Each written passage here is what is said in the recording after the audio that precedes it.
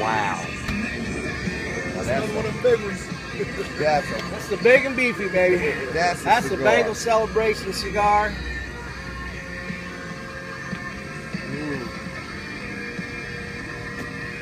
Now you're gonna have bad breath. That's okay, honey. I suffer tonight for a Bengals win. So that's what they make toothpaste for. Mm-hmm. Hey, I'm back on to the UNLV, man. Oh, did ya?